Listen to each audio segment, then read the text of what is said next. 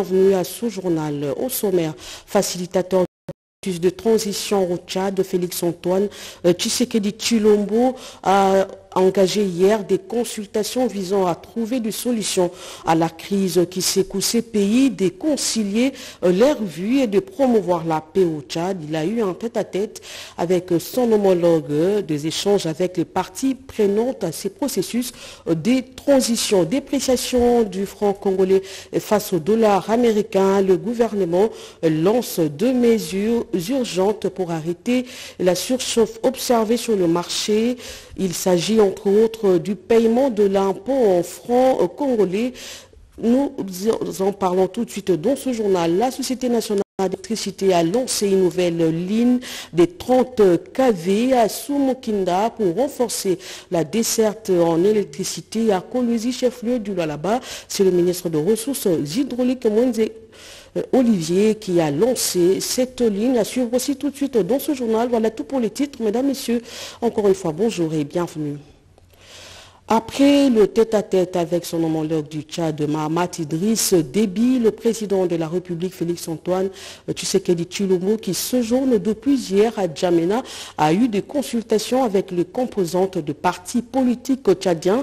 Le facilitateur du processus de transition au Tchad s'est entretenu euh, tour à tour avec la délégation du cadre national des concertations et celle du Parti de démocrates pour le renouveau euh, regroupement politique de l'opposition Les Ponts avec Pierre Kibambe Soumoïs. Aussitôt arrivé à N'Djamena, le président de la République Félix Antoine Tshisekedi Chulombo, facilitateur désigné de la CEAC, a, après le tête-à-tête avec son homologue Mahamat Idriss Déby, entamé à Radisson Blue les consultations avec les différentes composantes de la classe politique tchadienne. Le bal a été ouvert par la rencontre avec le cadre de concertation nationale des partis politiques du Tchad, conduite par son coordonnateur Brice Baimon Gwed. La délégation a salué les conseils du chef de l'État et il n'y a pas eu le chaos après la disparition tragique du président Idriss Déby, le pays a pris plutôt un bel élan. C'est le cap que le président Félix Tshisekedi a invité les uns et les autres à maintenir pour la paix et le bien-être du peuple tchadien, a dit le coordonnateur Brice Baimon. Ces propos sages ont été bien entendus et nous lui avons donc effectivement euh, renouvelé notre engagement d'évoluer dans la concertation permanente avec les acteurs qui sont dehors, euh, euh, persuadés à regagner ce cadre pour que effectivement nous travaillions dans l'intérêt de notre pays. Et donc, en résumé, je crois que nous avons eu euh, une très bonne impression après cette rencontre et le président nous a félicité d'aller de l'avant. C'était ensuite au tour du Parti des démocrates pour le renouveau, regroupement politique de l'opposition, d'être reçu par le chef de l'État, facilitateur de la CAC. Le PDR est l'un des partis politiques qui ont appelé à la manifestation du 20 octobre dernier. Ces partis, selon son président Isadine Ahmad Tidjani, fait confiance en la facilitation du président Félix Antoine Tshisekedi Chulombo. Nous, d'abord, nous faisons confiance au président Tshisekedi parce que euh, c'est un homme qui s'est battu pendant très longtemps dans l'opposition. Il connaît un peu euh, les démarches, il connaît un peu qu'est-ce qu'une opposition démocratique. Vraiment, nous avons confiance en lui afin que nos démarches, afin que nos propositions soient être retenues. Le PDR s'insurge contre l'exclusion et veut participer à la gestion du pays, la gestion de la transition, pourvu que ces revendications soient prises en compte, a conclu le chef de la délégation. Et puisque nous sommes à Djamena, je vous propose l'ambiance de l'arrivée de Félix Antoine Tshisekedi Chilombo, euh, facilitateur au processus de transition au Tchad. Suivez. La paix, la cohésion nationale figure parmi les préoccupations majeures du peuple de la République du Tchad. À l'invitation de son homologue tchadien, le général d'armée Mahamat Idriss Déby Itno, le président de la République, facilitateur de la communauté économique des États d'Afrique centrale, Félix Antoine Tshisekedi Chulombo est arrivé ce mardi 18 juillet dans la matinée à N'Djamena pour des consultations avec les différents partis de la classe politique tchadienne, la société civile les confessions religieuses afin de concilier les vues en prévision des prochaines élections prévues pour octobre 2024. À l'aéroport international Hassan Djamous, le chef de l'État a été salué au pied de l'avion par le ministre des Affaires étrangères, Mahamat Saleh Anadif, à la tête d'une délégation de quelques ministres membres du gouvernement tchadien, le nouvel ambassadeur de la RDC Banzangoy et quelques officiels de la RDC. Au sortir de l'aéroport, la communauté congolaise de N'Djamena n'a pas manqué au rendez-vous.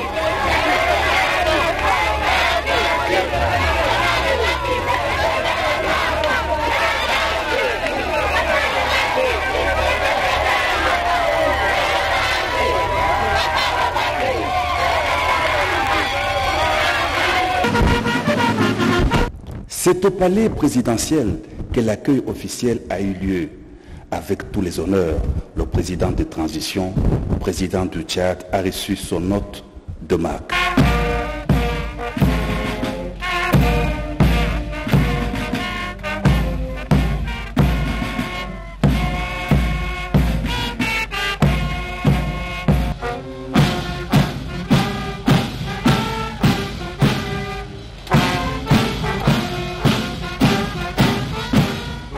Cérémonial d'accueil terminé, les deux chefs d'État se sont retirés pour des entretiens en tête-à-tête.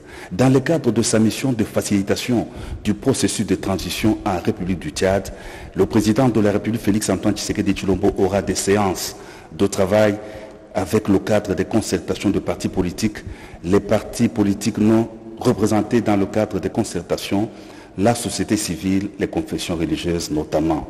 Le ministre Didier Manzenga, envoyé spécial du facilitateur désigné par la CEAC, s'y construit l'importante mission du chef de l'État en Djamena. Son Excellence, M. Félix Antoine Segeri Chilombo vient d'arriver ici à Djamena à sa qualité de facilitateur désigné par ses pairs de la CAC. Et dans ce cadre-là, il est venu pour travailler avec toutes les composantes, notamment les gouvernements, les partis politiques et la société civile, et proposer maintenant des voies de sortie d'une crise qui s'est installée, mais des solutions ont été trouvées par des dialogues. Et il y en a d'autres qui n'ont pas participé au dialogue. Les facilitateurs vont travailler pour faire fédérer tous les Tchadiens, de rejoindre le processus de transition au Tchad. Cette visite au travail est le troisième déplacement que le président de la République effectue en Djamena. Le chef de l'État Félix Antoine Tshisekedi Chilombo était venu compatir avec le peuple tchadien lors des funérailles d'État du défunt président Idriss Déby. Il a aussi répondu en 2022 à l'invitation de célébration de la fête nationale du Tchad. Un reportage de Pierre Kebambeso Moïsa. Depuis quelques semaines, vous le savez, la monnaie nationale, les francs congolais, connaît une dépréciation sur le marché entraînant une instabilité du marché de change avec une conséquence sur les paniers de la ménagère avant de s'envoler pour le Tchad. Le président de la République, Félix Antoine Tshisekedi Chilombo, a tenu une réunion de crise à la présidence. Blandine Zovo nous en parle. L'heure est grave et sur le marché, les prix des biens et services prennent de la tangente et le panier de la ménagère se dégarnit de plus en plus. La situation macroéconomique du pays demeure préoccupante à cause notamment de la surchauffe du marché de change. Le cri de détresse de la population face à la vie chère oblige le garant de la nation à prendre le contrôle de la situation, raison de la convocation d'une réunion importante avec un accent particulier sur l'économie. Cette réunion marathon met autour du chef de l'État les membres du gouvernement du secteur économique, le patronat congolais, les banquiers dans la Banque centrale du Congo et les banques commerciales, ainsi que le Conseil économique et social. À travers cette importante réunion, le président de la République, Félix Antoine Tshisekedi Chilombo, veut comprendre d'où vient cette surchauffe et quelle est la recette qui convient le mieux pour juguler cette situation qui risque sérieusement de secouer les couches sociales congolaises. Il suffit de voir qu'il était présidé par son Excellence, Monsieur le Président de la République lui-même. Et ça, c'est vraiment le reflet du souci qu'il a des développements que nous remarquons euh, récemment, des pressions sur le marché d'échange la dépréciation du franc congolais, l'inflation. Et donc la réunion a tourné autour euh, de ces différents points en essayant de mettre l'accent sur le fait que tous ceux qui sont concernés par la question, qu'il s'agisse de la Banque centrale, qu'il s'agisse du ministère des Finances ou des autres euh, euh, membres du gouvernement, que chacun, en ce qui le concerne, prenne les mesures qu'il faut pour que désormais on puisse voir un effet sur le marché des changes. Entre-temps, la spéculation du taux de change continue de gagner du terrain dans plusieurs villes du pays. Pour faire face à cette situation, la Banque centrale du Congo est appelée à réguler le flux en francs congolais à travers son taux directeur. En outre, Madame la gouverneure de la Banque centrale du Congo rappelle l'obligation pour les bureaux d'échange et les combistes manuels à respecter scrupuleusement la réglementation édictée par l'institution bancaire officielle. Par rapport à ça, ce que la Banque centrale a fait depuis quelques jours, c'est de resserrer les contacts, les liens avec les cambistes.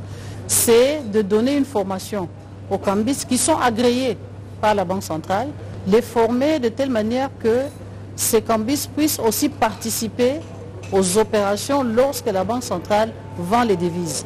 Au gouvernement de la République, instruction a été donnée de privilégier le paiement des impôts en monnaie locale afin d'accroître la demande en francs congolais.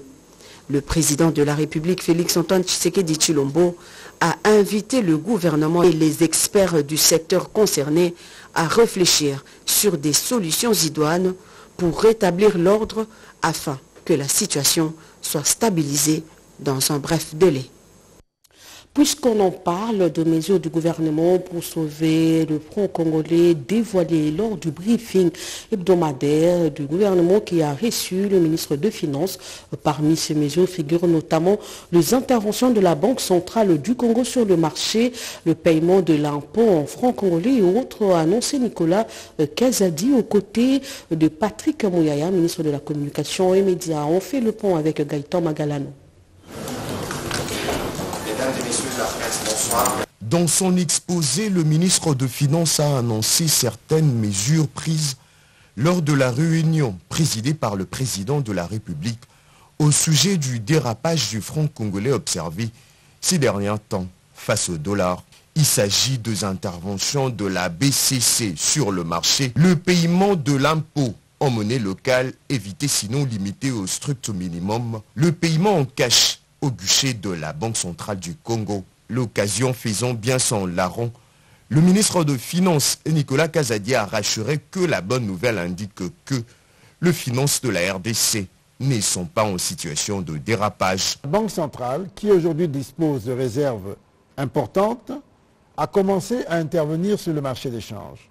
Et vous constaterez que depuis la fin de ce week-end, il y a déjà un début de retournement de la situation qui a été permis par les interventions de la Banque centrale.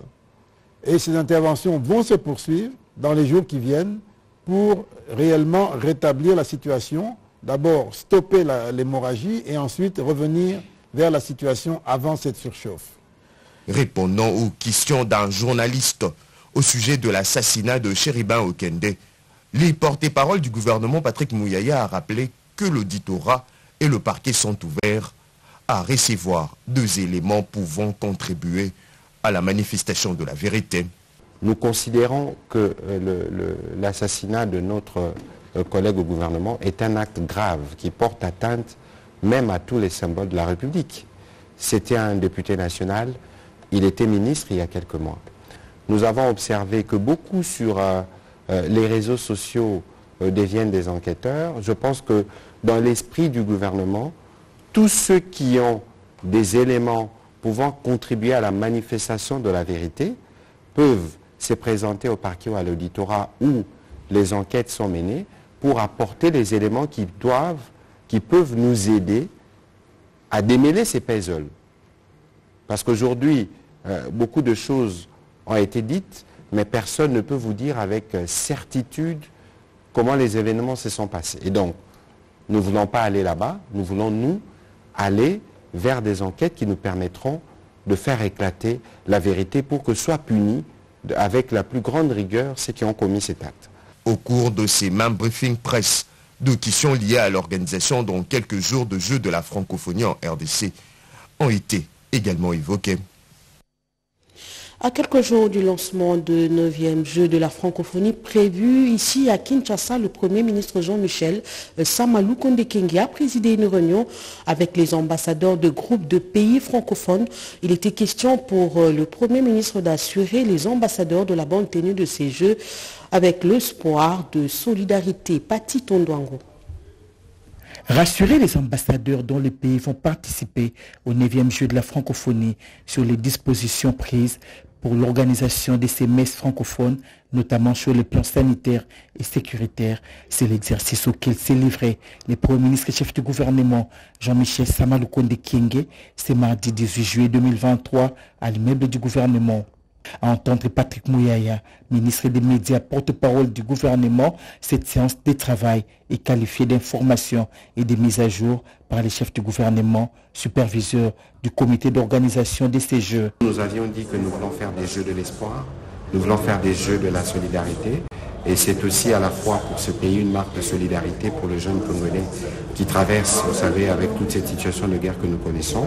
Mais c'est aussi l'occasion pour nous de démontrer notre résilience en voulant accueillir ces Jeux et en préparant des infrastructures modernes telles que répondant aux normes internationales parce que certains athlètes ou les athlètes qui viendront doivent compétir dans les conditions qui sont similaires à celles de leur pays. Quant à la prise en charge médicale des athlètes, les ambulances répondant aux normes requises sont bel et bien disponibles, confirme le ministre des Sports François Kaboulou Kaboulou. je pense que le Premier ministre, qui est le chef du gouvernement, voulait rassurer les ambassadeurs de pays francophones que les 9e Jeux auront bel et bien lieu. Il y avait des doutes, mais il a donné des informations précises et il a donné même l'occasion aux ambassadeurs de poser toutes les questions. Je crois que les ambassadeurs sont sortis satisfaits et ils ont obtenu toutes les précisions parce qu'il y avait quelque chose qui voulait nous diviser, c'était les problèmes d'ambulance. Maintenant, c'est confirmé, les ambulances sont arrivées ici, à Kinshasa. Il y aura un certain nombre d'ambulances qui seront affectées dans chaque site. On aura l'ambulance de type A, comme l'exige le règlement et il y a d'autres ambulances de type B qui seront en réserve. Les ambassadeurs voulaient avoir des précisions également concernant les sites d'hébergement, les sites de, de, compétition, et ils ont obtenu toutes ces précisions. Il y a des ambassades qui nous ont donné même la précision concernant la taille de leur délégation, et je suis heureux que nous ferons des jeux tout à fait intéressants. L'université de Kinshasa, site pour l'hébergement des athlètes, est appropriée à marteler Isidore Kwanja, directeur national des 9e Jeux de la francophonie. Oui, il n'y a pas de problème qui se pose actuellement à l'université de, Kinshasa. Le site est approprié pour accueillir les délégations. Toutes les dispositions ont été prises. Aujourd'hui, si vous passez à l'université de Kinshasa, vous verrez qu'il y a de l'eau qui coule dans les robinets. D'ailleurs, je vous informe qu'il y a de l'eau qui coule, non seulement de l'eau chaude, mais aussi de l'eau froide. Ce qui veut dire que nous avons pris toutes les dispositions nécessaires pour que les étudiants et les athlètes qui viennent soient euh, dans des conditions les meilleures possibles. L'éclairage a été fait aux ambassadeurs sur les différents aspects organisationnels de ces 9e Jeux de la francophonie qui n'attendent que leur démarrage le 28 juillet 2023. Les gouvernements a augmenté de 48% la couverture euh, sociale des fonctionnaires, la couverture santé universelle et le programme de développement euh, local des 145 territoires. Devant les Nations Unies, la ministre d'État du Plan a présenté les actions publiques engagées pour répondre de manière efficace à la mise en œuvre des objectifs de développement durable. Reportage Françoise Belabouaki. Le Congo dont on parle le moins, c'est celui-là que la patronne de la planification des politiques du gouvernement est venue présenter aux nations du monde. Dans un contexte de crise liée à la Covid-19, la RDC arrive à aligner des politiques publiques qui produisent des résultats.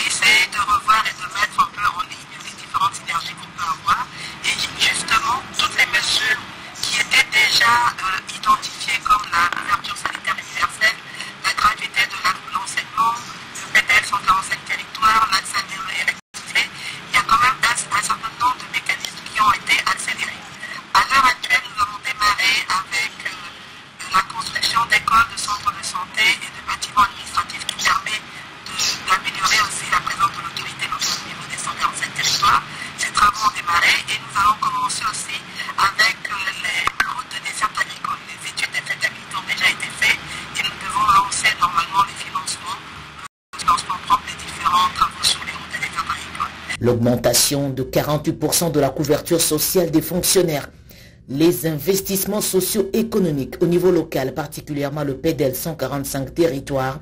Ceci fait partie des réponses aux ODD, a indiqué Judith Soumino Toulouka dans sa présentation de l'examen national volontaire. Seulement, malgré ces réformes, les efforts de la RDC, Pays Solutions, sont fragilisés par l'insécurité.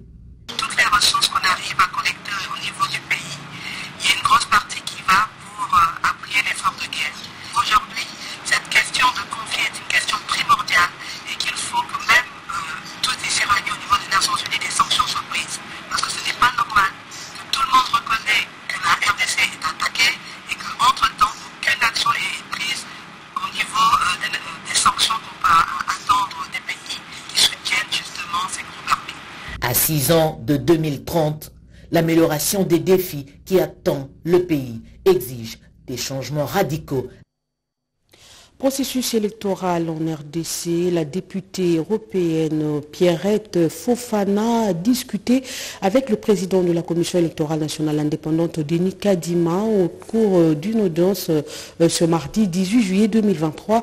Le patron de la centrale électorale a également fait la ronde de quelques centres de Kinshasa. Nous irons au-delà du 23, nous n'irons pas au-delà du 23 juillet, a dit Denis Kazadi Samba et je reste au Fongé.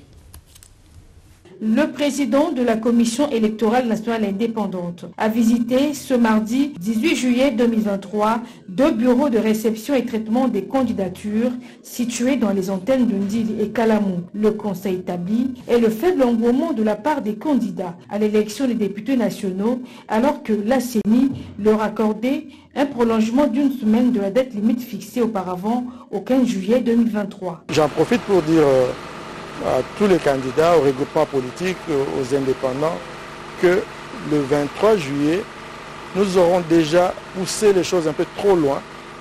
Donc, ils doivent nécessairement s'apprêter et déposer leur dossier au plus tard à cette date-là. Et prière de ne pas attendre la dernière minute. Le délai que nous venons d'accorder, c'est pour que tout le monde qui était en retard, pour des raisons d'ordre organisationnel, puisse se présenter durant euh, ce délai-là. Ça, c'est vraiment important. On ne va pas mettre en place un système de jetons. Il n'y aura pas une autre prolongation. Auparavant, Denis Kazadi s'est entretenu avec Mme Pierrette Herzberger Fofana, députée européenne, autour des préparatifs des élections générales prévues en décembre 2023.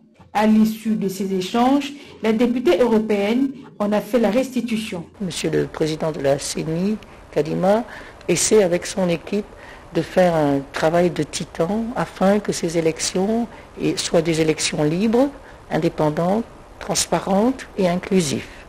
La question liée aux trois provinces en proie à l'insécurité était aussi au cœur de l'entretien. Notons que Mme Pierrette Herzberger Fofana est la première femme africaine à siéger au Parlement européen pour l'Allemagne sur la liste des Verts depuis le 26 mai 2019. Elle est présidente et membre de nombreuses organisations féminines.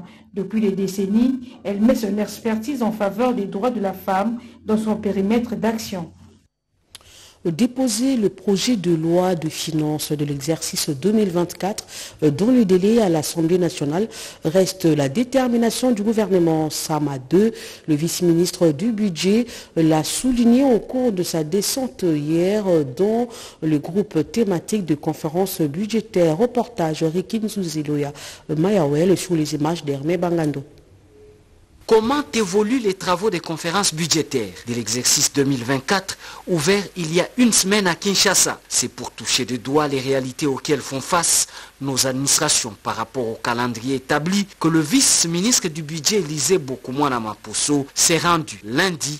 Différents groupes thématiques institués à l'immeuble intelligent où sont reçus les rapports des différents services, des départements ministériels, voire des institutions dans le cadre de la défense de leurs budgets respectifs. Nous avons programmé avec l'administration secrétaire générale des DG de la direction de préparation et suivi des budgets de pouvoir passer euh, dans les différents groupes toucher des doigts et voir comment les travaux sont en train d'être déroulés. Ce passage du vice-ministre du budget a boosté le rythme des travaux Au nom de son titulaire, empêché, Élisée Bokoumouana s'est résolument engagé à tout mettre en œuvre pour que le budget 2024 soit toujours présenté dans le délai constitutionnel et réponde aux besoins sociaux des bases et sécuritaires de la RDC.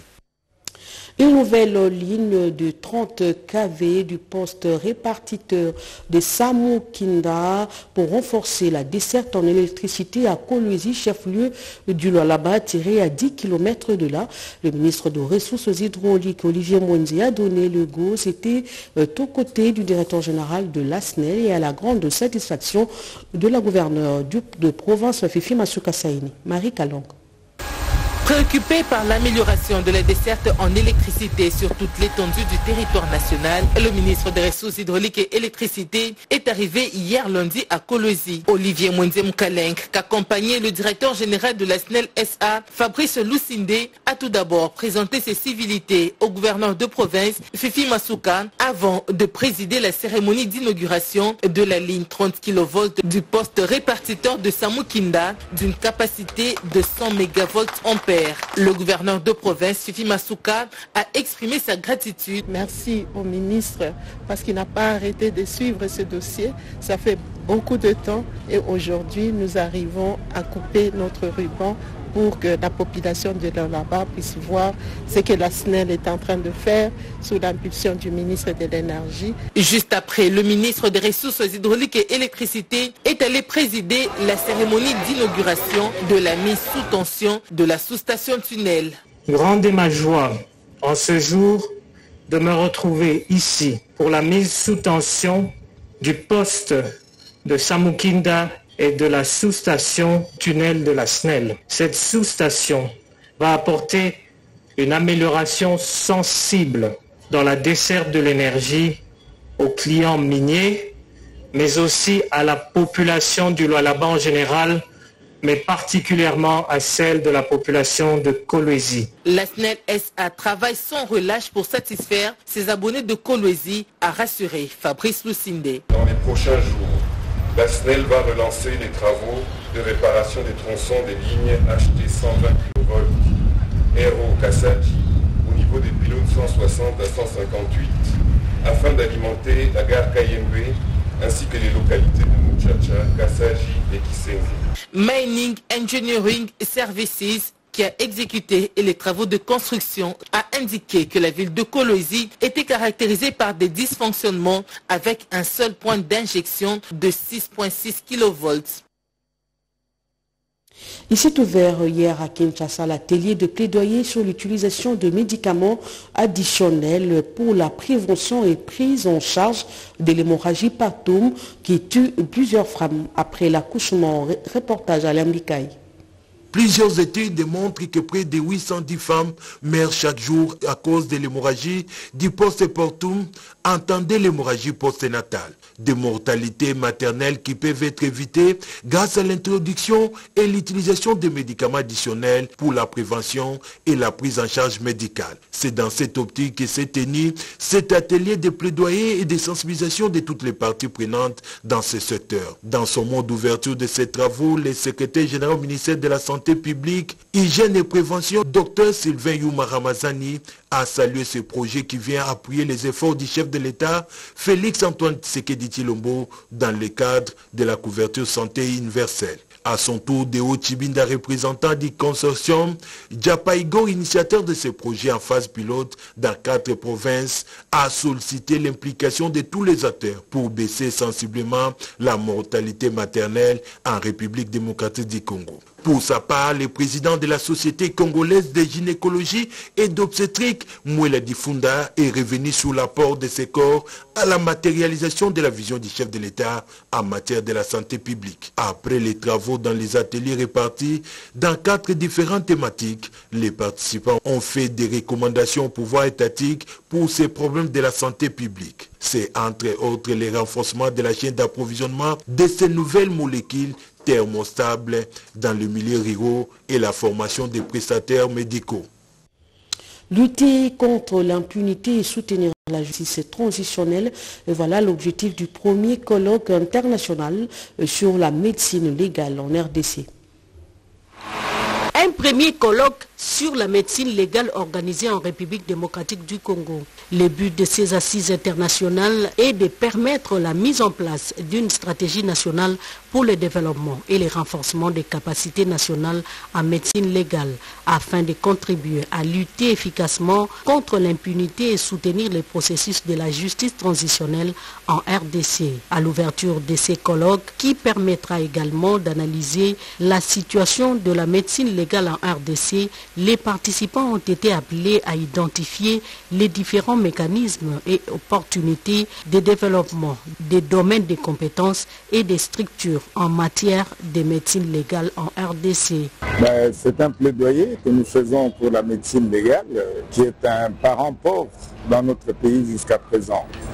Un cours de seulement euh, 20 heures, voilà les compétences qui sont livrées aux enfants de la République du Congo pour une médecine qui est un pont réel entre médecine et droit. L'importance de cette discipline justifie absolument ces assises qui serviront certainement d'établir un plaidoyer réel pour qu'enfin une spécialisation en médecine euh, légale soit effective en République démocratique du Congo. Au terme de ces colloques, organisés en partenariat avec l'Université de Kinshasa, les bureaux conjoints des Nations Unies aux droits de l'homme, l'OMS et l'UNFPA, avec la participation des médecins, urgentistes, baliticiens, juristes, avocats, chercheurs et autres, une feuille de route sera adoptée. C'était un reportage de Constance Manangaz. Pour terminer, les camps au Montbélé dans la commune de Limité totalise déjà 64 ans d'existence depuis sa création. Anniversaire célébré avec faste par la Fondation Godard Montemona et l'association de Banakin ensemble avec euh, le chef coutumier et quelques notables du coin. Ces derniers ont d'ailleurs reçu de présents de main du président des Fogomons.